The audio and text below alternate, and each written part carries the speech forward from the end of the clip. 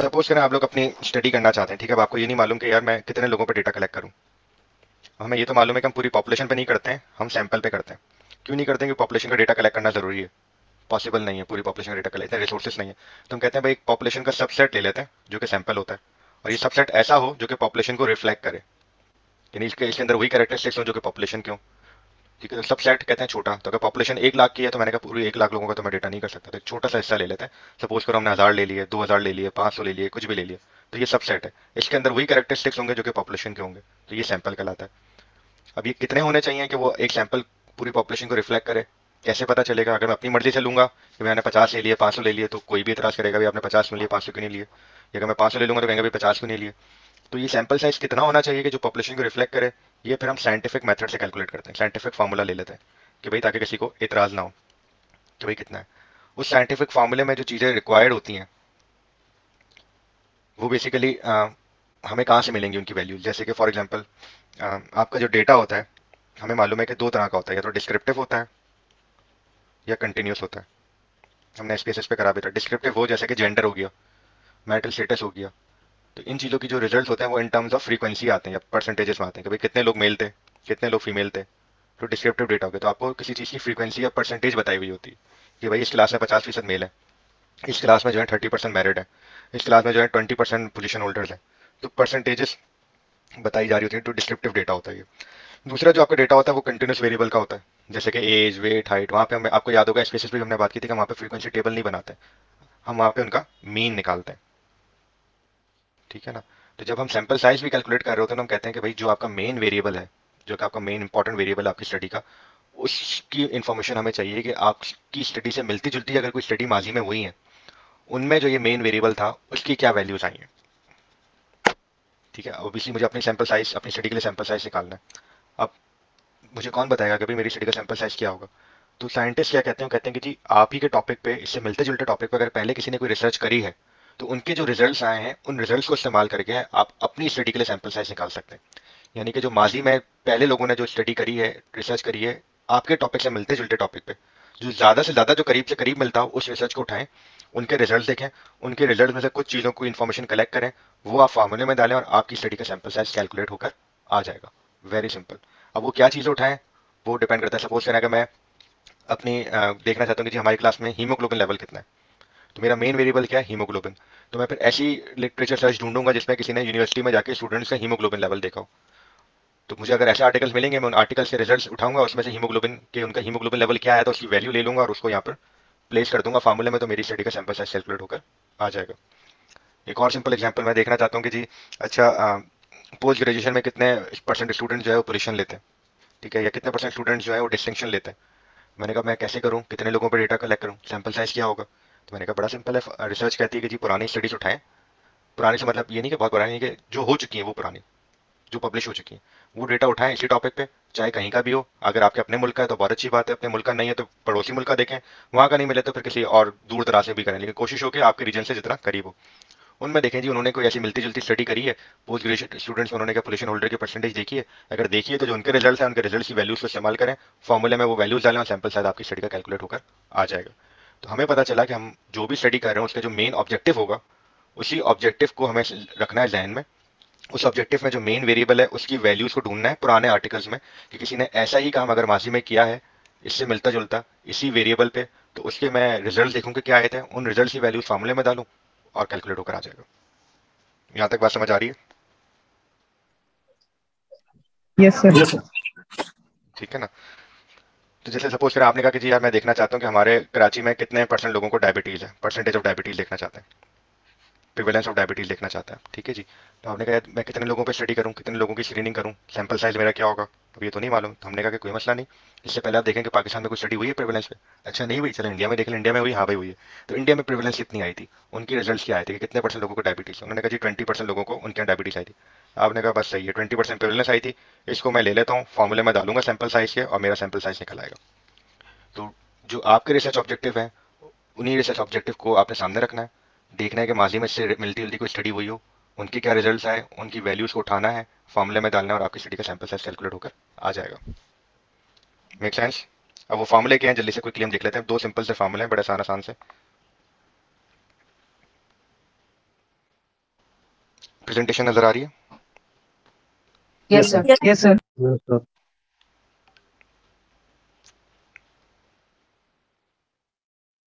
अच्छा जी ये चलेंगे एग्ज़ाम्पल दो एग्ज़ाम्पल हैं पहले देख लेते हैं। सपोज़ करें आप एक स्टडी करना चाहते हैं जिसमें आप ये देखना चाहते हैं कि भाई चूहों पे हम एक सर्टन ड्रग उनको दें तो उनकी बॉडी का वेट कितना चेंज हो रहा है। ठीक है, ये आपके रिसर्च ऑब्जेक्टिव थे। आप एनिमल पे एक स्टडी करके देखना चाह रहे थे कि मैंने सर्टन ड्रग दी, एक सर्टन डाइट दी, उसकी वजह से जो उनका वेट है, वो कितना चेंज हुआ है। तो आपने कहा, बड़ा अच्छा यार, मुझे सैंपल साइज़ कैलकुलेट करना है। तो फार्मूला आपने कहा, यार, ये फार्मूला है। तो मैं देखता हूँ कि पहले इस टॉपिक पे कोई काम हुआ है, आपको आर्टिकल्स मिलेगा हाँ भाई, पहले भी लोगों ने देखा था कि उन्होंने ये ड्रग देके देखा कि उस पर रेड्स पे कितना फ़र्क आया। आपने उनके रिज़ल्ट को उठाया और अपने फार्मूले में डाला। अब वो फार्मूले में आपको क्या क्या चीज़ें रिक्वायर्ड है, ठीक है? Obviously weight is a continuous variable जो कंटिन्यूस वेरिएबल होता है, उसको हम क्या कैलकुलेट करते हैं? मीन और स्टैंडर्ड डिवीज़न निकालते हैं। परसेंटेजेस हम किन की निकालते हैं? कैटेगोरिकल वेरिएबल की। तो यहाँ पर जो हमारा मेन वेरिएबल है कि हम चूहों में चेंज इन वेट देखना चाह रहे हैं कि वज़न में कितना फ़र्क आया। वज़न कंटिन्यूस वेरिएबल है। कंटिन्यूस वेरिएबल की हम परसेंटेज स्टैंडर्ड डिवीज़न देखते हैं कि भाई मीन और स्टैंडर्ड डिवीज़न कितना है। तो हमने पुराने आर्टिकल निकाले और वहाँ से उनका मीन स्टैंडर्ड डिवीज़न ले लिया। फार्मूले में आपको मीन भी नहीं चाहिए। फार्मूले में आपको सिंपली स्टैंडर्ड डिवीज़न चाहिए कि भाई स्टैंडर्ड डिवीज़न कितना है उनका। अच्छा जी, अब फार्मूला क्या है? This is the formula N क्या है? Sample size is equal to Z square multiply by S square divided by E square ये सिंपल सा फार्मूला अब इस फार्मूले में ये जेड क्या है? एस क्या है? ई e क्या है? S is the standard division s क्या है? स्टैंडर्ड डिवीज़न की किसकी स्टैंडर्ड डिवीज़न जो भी आपका मेन वेरिएबल था। जैसे हम यहाँ पर देख रहे थे माउस की बात हो रही थी कि भाई पहले स्टडीज़ में माउस का मीन वेट और स्टैंडर्ड डिवीज़न क्या था? तो उनके जो रिजल्ट्स थे, उनमें आया था कि जी 200 मिलीग्राम जो है डिफरेंस आया mean difference with standard division of 20 तो आपने वहाँ से उनके रिज़ल्ट में से स्टैंडर्ड डिवीज़न की वैल्यू निकाल ली। क्यों निकाल ली? क्योंकि आपको फार्मूले में स्टैंडर्ड डिवीज़न की वैल्यू रिक्वायर्ड है। तो स्टैंडर्ड डिवीज़न की वैल्यू वहाँ से आ गई। Z क्या है?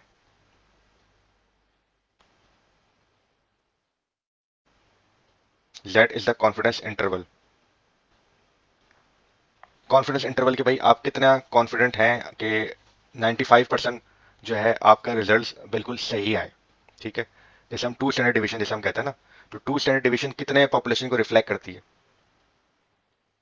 95 परसेंट 95 परसेंट को वेरी गुड तो अगर मैं 95 परसेंट कॉन्फिडेंस इंटरवल चाह रहा हूँ तो वो कितना स्टैंडर्ड डिवीज़न बनेगा? टू स्टैंडर्ड बनेगा। ठीक है? तो टू स्टैंडर्ड डिवीज़न तो हमने होल नंबर ले लिया था। एक्चुअल जो वैल्यू है वो 1.96 है। लेकिन 1.96 को जब मैं राउंड ऑफ़ करता हूँ तो वो टू बन जाता है। तो इसलिए उसको टू स्टैंडर्ड डिवीज़न कहते हैं ताकि याद रखने में आसानी हो। वन एक्चुअली वो 1.96 है। तो ये बेसिकली जेड जो होता है वो कॉन्फिडेंस इंटरवल होता है 95 परसेंट कॉन्फिडेंस इंटरवल जो कि टू स्टैंडर्ड डिवीज़न हम स्टैंडर्ड रखते हैं। अगर वो कहते हैं कि नहीं जी आप 95 नहीं लें आप 68 परसेंट कॉन्फिडेंस इंटरवल लें तो फिर वैल्यू क्या हो जाएगी? वन वन वन हो जाएगी। ठीक है? तो वो अगर उसने आपको बताया है कि जी कॉन्फिडेंस इंटरवल कितना होगा तो उसके हिसाब से आप वो रख लेंगे। वो यहाँ पर हम सिर्फ़ तीन वैल्यूज़ यूज़ करते हैं इस लेवल पे। या तो 68 परसेंट है। या 95 परसेंट कॉन्फिडेंस इंटरवल है 99 है। ठीक है तीन चीज़ें रखी जाती हैं। ये जो कॉन्फिडेंस इंटरवल है हम अपने जो पुराने आर्टिकल है उनमें से देखेंगे।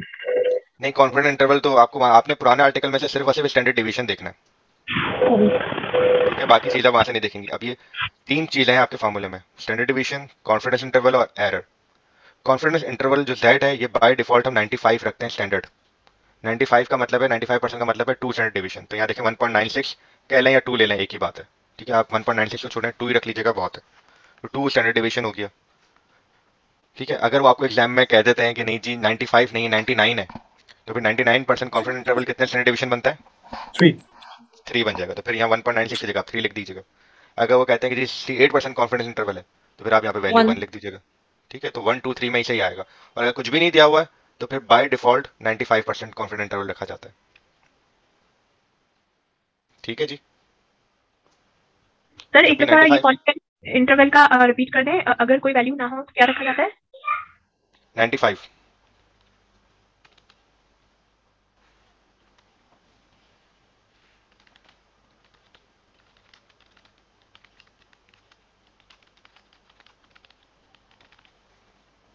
ठीक है जी टू स्टैंडर्ड डिवीज़न जो कि बनता है। तो यहाँ 1.96 को आप यहाँ पर आसानी के लिए टू कर लें।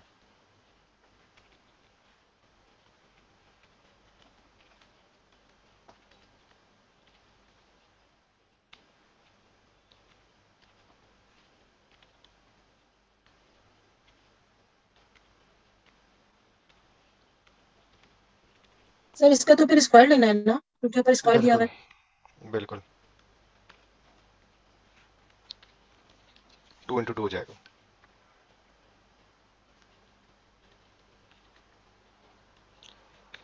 ठीक है जी तो तीन चीज़ें हैं। पहली चीज़ स्टैंडर्ड डिवीज़न आर्टिकल ने बता दी। दूसरी चीज़ जेड 95 परसेंट कॉन्फिडेंस इंटरवल 95 की कॉन्फिडेंस इंटरवल की वैल्यू क्या होती है? टू होती है। तीसरी चीज़ एरर एरर कितना होता है? हम यूजली पी वैल्यू में एरर कितना रखते हैं? पी वैल्यू में एरर कितना होता है भाई? टेन लिखा हुआ है टेन होता है। अरे यहाँ छोड़ो ना कितना लिखा हुआ है। पी वैल्यू कब सिग्निफिकेंट कहते हैं भाई। एरर हम कहते हैं फाइव परसेंट से लेस हो ठीक है? तो अगर एरर की वैल्यू नहीं दी हुई तो आप भी फाइव परसेंट एरर रखेंगे। फाइव परसेंट एरर का क्या मतलब हुआ? पॉइंट ज़ीरो फाइव ठीक है जी? अगर उसने एरर को आपको बता दिया भाई एरर फाइव परसेंट नहीं है टेन परसेंट है तो फिर टेन परसेंट लिख दीजिएगा टेन लिख दीजिएगा ट्वेंटी है तो ट्वेंटी लिख दीजिएगा। अगर उसने नहीं बताया हुआ तो फिर आप फाइव ही लेकर चलेंगे। अब जैसे ये एग्ज़ाम्पल है यहाँ पे देखें हमने एरर को फाइव रखा हुआ है by default five percent standard division by default 1.96 या 2 तो स्क्वायर है तो स्क्वायर में हम क्या करते हैं? उसी नंबर को, उसी नंबर से मल्टीप्लाई करते हैं। तो 1.96 मल्टीप्लाई बाय 1.96 स्क्वायर बन जाएगा। स्टैंडर्ड डिवीज़न 20 थी 20 इंटू ट्वेंटी हो जाएगा। एरर 5 था 5 इंटू फाइव हो जाएगा। सिंपल साइज़ आपने निकाला 62 आ गया।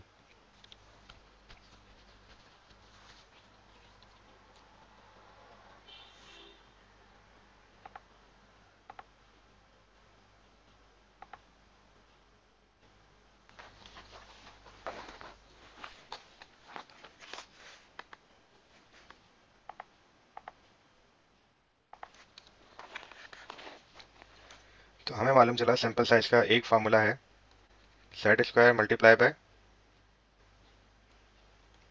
S square divided by E square Z is confidence interval जो कि स्टैंडर्ड है टू क्योंकि ये हम कहते हैं 95 परसेंट पे। अगर उसने 99 का होगा तो आप थ्री ले लेंगे 68 का होगा तो वन ले लेंगे। 95 का होगा तो टू ले लेंगे। अगर कुछ नहीं का होगा तब भी टू लेंगे। दूसरी चीज़ हो गई एस स्टैंडर्ड डिवीज़न ये आपको कहाँ से मिलेगा? रिजल्ट्स में से। उसने बताया होगा कि जी स्टैंडर्ड मीन वैल्यू ये है स्टैंडर्ड डिवीज़न ये है। तो आप स्टैंडर्ड डिवीज़न की वैल्यू उठा लें, उठा के यहाँ फार्मूले में डाल दें। तीसरी चीज़ है error E stand for error error कितना होता है? बाय डिफ़ॉल्ट फाइव परसेंट होता है। तो अगर उसने कुछ भी नहीं दिया सिर्फ़ एरर का ज़िक्र किया है, नहीं भी गया तो ई की वैल्यू फाइव लिखेंगे। अगर उसने कहा कि जी, वो एरर टेन रखना चाहते हैं टेन परसेंट तो फिर आप टेन यूज़ कर लें। वो कहते हैं जी एरर ट्वेंटी रखना चाहते हैं ट्वेंटी यूज़ कर लें। कहते हैं एरर वन रखना चाहते हैं वन यूज़ कर लें। आप सपोज़ करें एक, आपको सैंपल साइज़ कैलकुलेट करना है on the basis of haemoglobin आपको ऑब्जेक्टिव था कि मैं ही, मीन हीमोग्लोबिन क्लास में देखना चाहता हूँ। आपने पुरानी स्टडी निकाली। वहाँ एक स्टडी में हीमोग्लोबिन दिया हुआ है जी mean haemoglobin is 12 with standard division of 5 अब वो आपसे कह रहा कि जी कैलकुलेट द सैंपल साइज़ उसने कहा जी we need to be 99 percent confident interval रखें। एरर जो है वो 1 परसेंट रखें। Can you calculate the sample size yes sir बड़ा सिंपल है फॉर्मूले में डालें जेड स्क्वायर में जेड की वैल्यू डालें जेड की वैल्यू क्या है? Three sir three three square multiply by standard division की वैल्यू क्या है? Five five square divided by error error की वैल्यू क्या है? वन स्क्वायर तो वन स्क्वायर तो वन ही रहेगा. थ्री स्क्वायर क्या बन जाएगा? Nine nine into twenty five multiply कर दें टू ट्वेंटी फाइव आपका सैंपल साइज़ निकल आया. सो सिंपल तो ये जो सैंपल साइज़ है, ये यूजली ये फॉर्मूला क्रॉस सेक्शनल स्टडीज़ के लिए होता है। ठीक है? क्रॉस सेक्शनल स्टडीज़ जब हम कर रहे होते हैं तो इस तरीके से सैंपल साइज़ आप निकाल सकते हैं।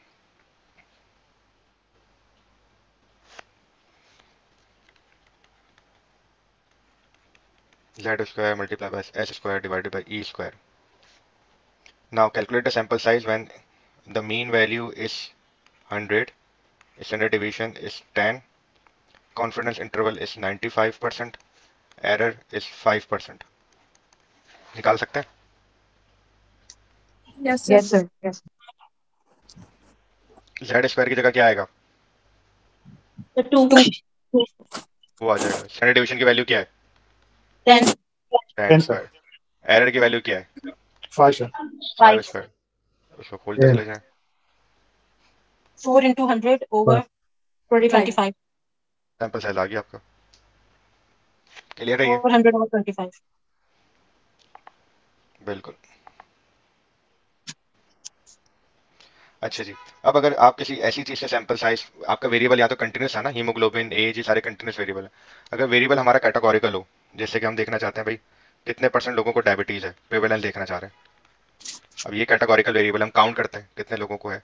तो जो चीज़ कैटेगोरिकल होती है कैटेगोरिकल में हमें मालूम है कि हम जो है वो मीन स्टैंडर्ड डेविएशन नहीं निकाल सकते। वहाँ पर फिर हम देखना चाहिए कितने लोगों को है कितने परसेंट लोगों को है जो प्रिविलेंस की बात हम करते हैं कितने लोगों को। याद है ना प्रिविलेंस इंसिडेंस की भी हमने बात की थी क्लास में? Yes, sir. Prevalence incidence prevalence क्या होता है? Total number of cases Total number of cases. Old plus new cases. बिल्कुल शाबाश ओल्ड प्लस न्यू केसेस और इंसिडेंस होता है सिर्फ़ new cases New cases. Incidence कैसे निकालते? हैं प्रिविलेंस कैसे निकालते हैं? Old plus new cases divided by total population और इंसिडेंस कैसे निकालते हैं? New cases divide by population at risk population at risk और पॉपुलेशन एट रिस्क क्या होती है याद है? टोटल केसेस माइनस टोटल में से ओल्ड केसेस माइनस कर दें। तो ये बनती है पॉपुलेशन एट रिस्क जिनको अभी बीमारी नहीं है वो पॉपुलेशन एट रिस्क है। यानी कि जिन जो पॉपुलेशन में जो लोग बीमार नहीं है वो हैं जो हेल्दी हैं वो सारे रिस्क पर है ना। अगर मुझे हाइपरटेंशन नहीं है तो मैं हाइपरटेंशन के रिस्क पर हूँ। मुझे अगर टीबी नहीं है तो मैं टीबी के रिस्क पर हूँ। तो जिसको बीमारी नहीं है वो रिस्क पर है। तो ऑब्वियसली आप टोटल पॉपुलेशन अगर आपकी है तो उनमें से जो लोग बीमार हैं ऑलरेडी उनको निकाल दोगे। माइनस कर दोगे तो वो लोग बचेंगे जिनको वो बीमारी नहीं है। तो वो उस बीमारी का रिस्क पर है। तो टोटल पॉपुलेशन में से जब आप ओल्ड केसेस माइनस कर देते हैं तो आपके पास हेल्दी लोग बच जाते हैं, क्योंकि वो बीमारी नहीं होती।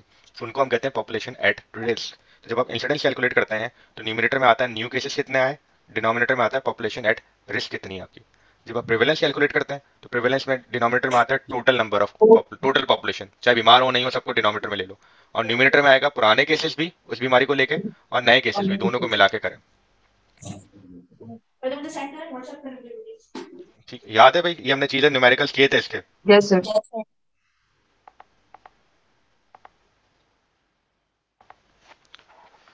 अच्छा जी तो हम बात कर रहे थे कि जी हमें सैंपल साइज़ निकालना है, ऐसे हम देखना चाहते हैं जी कितने परसेंट लोगों में डायबिटीज़ है। परसेंटेज देखना चाहते हैं कैटेगोरिकल वेरिएबल है तो मीन स्टैंडर्ड डिवीज़न तो होगा नहीं। तो फिर क्या होगा? परसेंटेजेस होगी, यानी कि प्रिवलेंस होगी। अभी कितने लोग इंडिया में कोई स्टडी हुई थी, उनमें कितने लोगों को डायबिटीज़ निकली? क्या प्रिवलेंस थी? कितने नंबर लोग बीमार थे? Old plus new cases prevalence अच्छा तुर्की में भी हुई थी, वहाँ क्या प्रिवलेंस थी? सऊदी में भी हुई थी, वहाँ क्या प्रिवलेंस थी?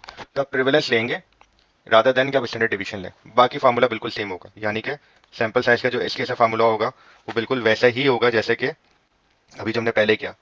यानी कि एक z की वैल्यू वैसे ही आएगी e की वैल्यू भी वैसे ही आएगी। यहाँ पे उसी तरह से आप z स्क्वायर लिखेंगे मल्टीप्लाई बाय और नीचे e स्क्वायर लिखेंगे। यहाँ पर हम लिखते थे एस स्क्वायर स्टैंडर्ड डिवीज़न हम क्योंकि अब सैंपल साइज़ हमारी स्टडी के जो ऑब्जेक्टिव है, वो कैटेगोरिकल वेरिएबल है। Percentage of diabetes prevalence of diabetes इनमें मीन स्टैंडर्ड डिवीज़न नहीं होता। है परसेंटेजेस होती है प्रिवेलेंस होती है। तो यहाँ पर हम स्टैंडर्ड डिवीज़न की जगह प्रिवेलेंस को हम यूज़ करेंगे। कि भाई पुरानी स्टडीज़ में प्रिवेलेंस कितनी आई थी। प्रिवेलेंस को यूज़ करेंगे। ठीक है? और रादर देन कि हम इसको पी स्क्वायर करें हम यहाँ पे करते हैं पी इंटू डी स्क्वायर की जगह हमने डी लिख दिया। अब सवाल आता है कि भाई डी क्या है? कुछ जगहों पे डी लिखा होता है, कुछ जगहों पे क्यू लिखा होता है। ठीक है तो हम लेट से इसको क्यू के साथ ही लेके चलते हैं, आसानी रहेगी।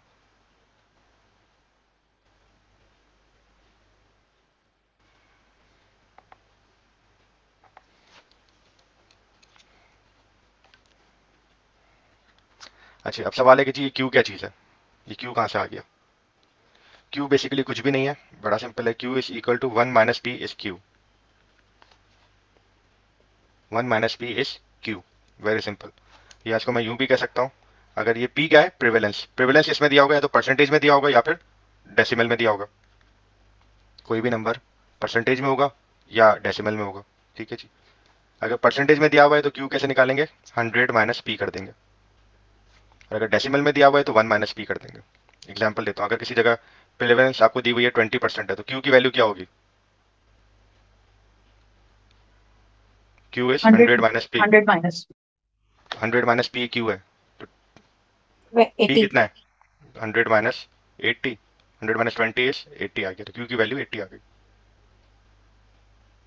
अगर पी की वैल्यू थर्टी है तो क्यू की वैल्यू क्या होगी? 70. पी की वैल्यू सेवेंटी पी की थर्टी परसेंट है तो क्यू की वैल्यू सेवेंटी हो गई. पी है या 100 माइनस पी है? देखो अगर ये पी परसेंटेज में दिया हुआ होगा ना तो परसेंटेज हंड्रेड से निकलती है ना तो क्यू बन जाएगा हंड्रेड माइनस पी अगर पी परसेंटेज में। पी अगर डेसिमल में है तो फिर वन माइनस पी हो जाएगा क्यू की वैल्यू ओके सर तो अभी आप जो है इसको सिंपली परसेंटेज में याद रखें तो हंड्रेड माइनस पी कर दीजिएगा।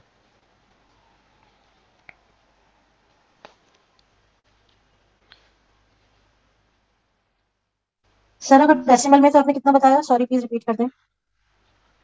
वन माइनस पी तो प्रिवेलेंस ऑफ़ डायबिटीज़ एक स्टडी में दिया हुआ है थर्टी फाइव परसेंट आपको कहा है कि जी कैलकुलेट सैंपल साइज़ आपने कहा ठीक है जी कर लेते हैं। फार्मूला क्या है? Z square Z square divided Q divided by E square square. Z square की वैल्यू हमें मालूम है two standard division ninety five percent पे मल्टीप्लाई बाय पी कितना दिया हुआ है? Thirty. क्यू क्या होता है? P one minus P Q divided by E square E कितना है? फाइव स्क्वायर हो गया। पी कितना था? Thirty five one minus thirty five कितना बचा? सिक्सटी फाइव बचा। तो टू स्क्वायर फोर बन गया। पी की वैल्यू तो परसेंटेज में है तो हंड्रेड माइनस थर्टी फाइव होगा ना। बिल्कुल। हंड्रेड माइनस थर्टी फाइव कितना बचा? Sixty five divided by five into five ऐसे ही है? जी सर। फोर मल्टीप्लाई पहले थर्टी फाइव और सिक्सटी फाइव मल्टीप्लाई होंगे और फिर फोर से? फोर से मल्टीप्लाई होंगे पर divide by five into five से डिवाइड हो जाएँगे। आप चाहें तो यहाँ पर भी इसको सॉर्ट आउट कर सकते हैं। फाइव वन ला फाइव सेवन ला फाइव वन ला फाइव थर्टीन ला। आप सिंपली फोर को सेवन से मल्टीप्लाई करें थर्टीन से मल्टीप्लाई करें आपका सैंपल साइज़ आ जाएगा।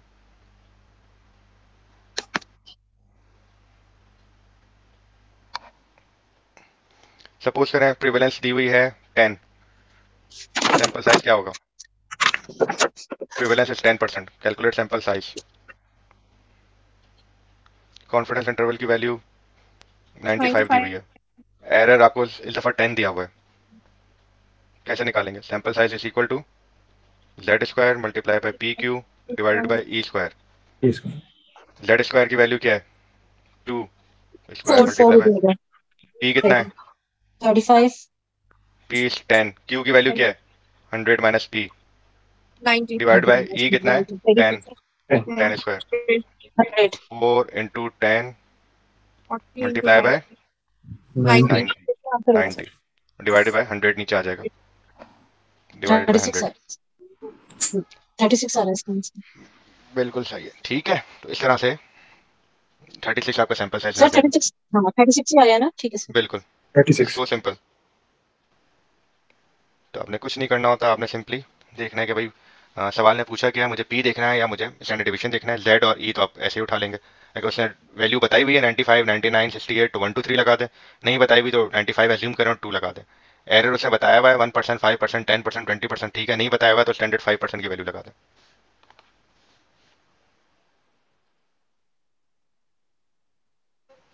क्लियर है ये? Yes sir Yes, sir.